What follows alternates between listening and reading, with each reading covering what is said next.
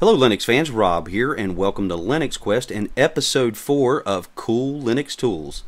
So my purpose for this series really is to share the really cool tools and software that we have available in Linux. We've got a great selection and for new users or for people looking to Linux for maybe a replacement to their current operating system, it's sometimes difficult to find uh, software that you know maybe you've used in another platform. Now there are websites that kind of give you a comparison, and I'll uh, probably put some of those in the video notes. And then viewers, if you have a favorite website that does a comparison of software from you know one platform over to Linux, uh, please share that in the video comments. So appreciate it there. Let's go ahead and jump into today's cool tool, and that is Photo Film Strip. And you might guess that Photo Film, film Strip from the name, um, what it does. It allows you to take individual photos and um, put them together and create a video with transitions and audio. Now this tool really does one thing and it does it really really well and,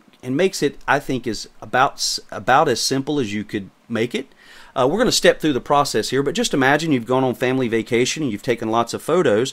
Well, you could you know, you could sit down and share those photos the way most people do today. You slide through your phone or tablet and here's this image and here's the next image. Or you could spend a little time and go in and make it fun and creative and share your photos that way or perhaps tell your story while the video is running. So just one idea for how you would use uh, this piece of software. All right, let's jump in here. Now it's not evident right out of the gate exactly what you're going to do, but um, the first thing you you would do is create a new project. You can do that from here or here.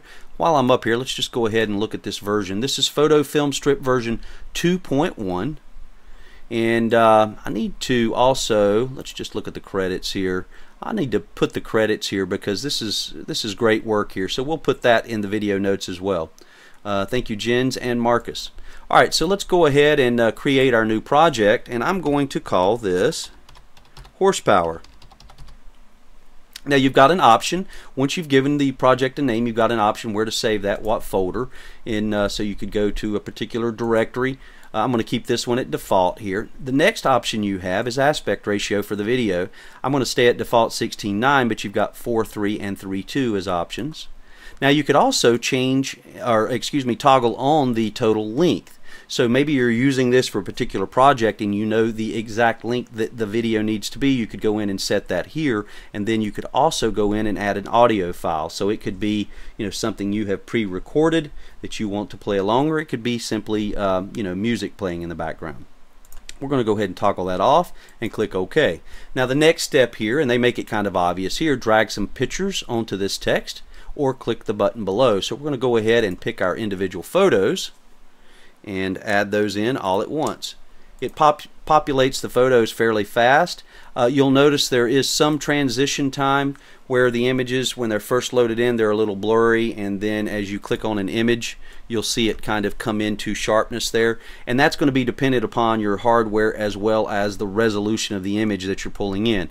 I recommend that you use the highest quality resolution images you can for this, and the reason is because you've got some transitions that allow you to zoom in and zoom out, and so if you have a low resolution image and you zoom in, it's going to look pixelated, and so we'll kind of get into some examples of that. Now we're going to start a little different here. We're going to go from the bottom and work our way up. You'll also notice that as soon as you import your photos, you've got some options for some additional tools here, and so we'll kind of step through these. All right, we're going to start at the bottom. You can individually select each photo and apply several options to each of those photos.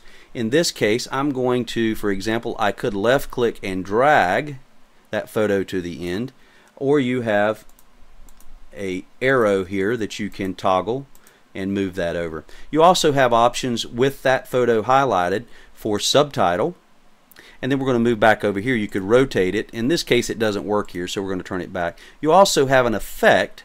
You have no effect black and white or sepia. And I'm going to leave that with no effect for now. Now you could also go in and adjust the acceleration and that's the acceleration of the transition and we'll get into that in just a moment. Um, or excuse me, the acceleration of the position on the photo. zooming in, zooming out. You could go linear, accelerated, or delayed. We're going to stay with default, but you can adjust that there, and that's per image. And then you have transition options. You have none, fade, or roll. We're going to stay with default at fade, and you can adjust that as well here. All right, so we're going to move on up.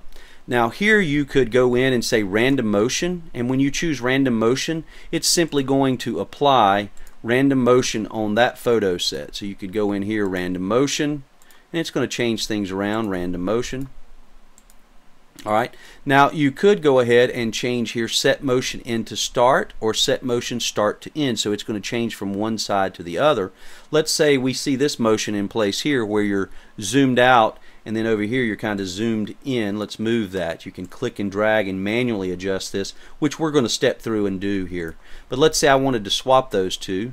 You've got a quick toggle here for that. So now you've got you're zoomed in here and zoomed out here. All right. So that's just an example. All right, let's step through the process here, and I'm going to go in and manually adjust this just to kind of give you the idea behind it. So on this uh, beautiful Bugatti here, I want to zoom in on that great looking front end there, and then I want it to end zoomed out where you're seeing the entire vehicle. So we're going to do that with that particular image. Now you can see here if you've got a low resolution image and you're starting out zoomed in close like that it could be very pixelated. Now here we're seeing the entire vehicle and here we're going to zoom in kind of close so we'll leave that for the sake of time. I'm not going to be very very particular. And again let's zoom in on the front of that Bugatti. And here we'll leave that as it is. Actually no let's just do a quick switch. There we go. We'll do the opposite. And here we have a Koenigsegg so I'm going to zoom out so we see most of the Koenigsegg and let's zoom in here to another section maybe the the three quarter of the back of the Koenigsegg you get the idea here. And then we have a Renault. So let's zoom in on the Renault here maybe like that. And then we'll zoom out so you see the entire vehicle. Alright so we've got all of our transitions up. Oh, let's do the stallion the entire stallion. Wonder if this is an Italian stallion wonder if that's Italy. It could be an Italian stallion. All right. So we are zoomed in there, and that's the way it's going to end. So once you've got all of this in place, again, you could go in and put subtitles for all of or for each of the photos. So if you were on a vacation and you know you've got a shot that's you know uh, at a particular landmark or something, you could type that in. All right. So we're done here. We're going to go ahead and um, render the film strip.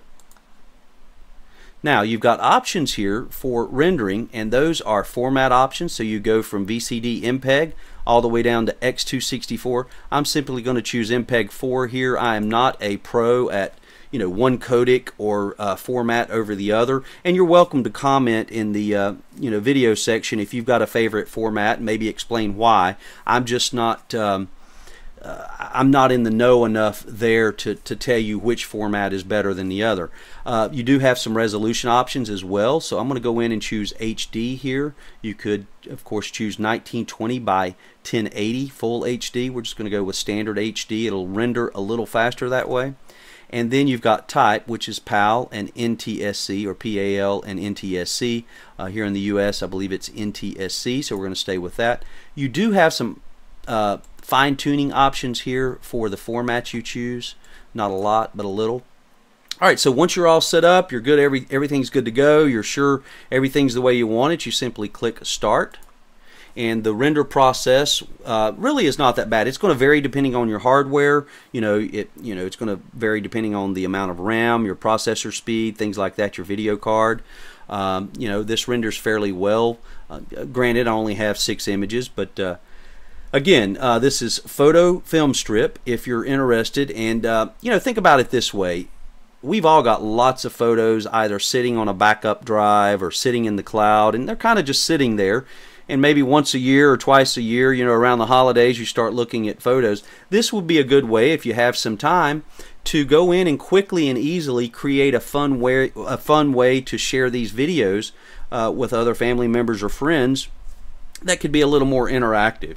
So, uh, all right, so what we're going to do here is I'm going to go ahead and close this, excuse me, close this all out. And we'll go ahead and take a look. We'll save this. And we'll go ahead and take a look at our work here. Into our folder. horsepower. You'll see the folder is HD. Now the output name, perhaps I missed a setting here. That should have been called horsepower, but perhaps it's just user error there. But anyway, let's go ahead and check it out. So you can see there we were uh, zoomed in. So again, if you've got a low resolution image, it's going to look pixelated. So you see this the transitions, you get the idea there.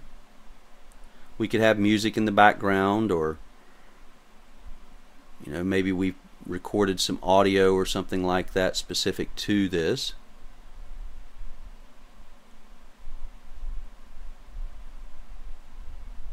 I think it's nice. I think um, you know again it does one thing and it does it really well and it keeps it simple and easy to use and um, and there's not a thing wrong with that. I think that's it's a great piece of software. So hopefully this is new to you and um, maybe you see the use behind it and there's our stallion to end this video so um, you know I hope this helps and uh, share this with friends uh, you know if you've got friends who are into uh, photos and things like that. Maybe this is something that would be helpful to them. So uh, that's it for now and we will check you later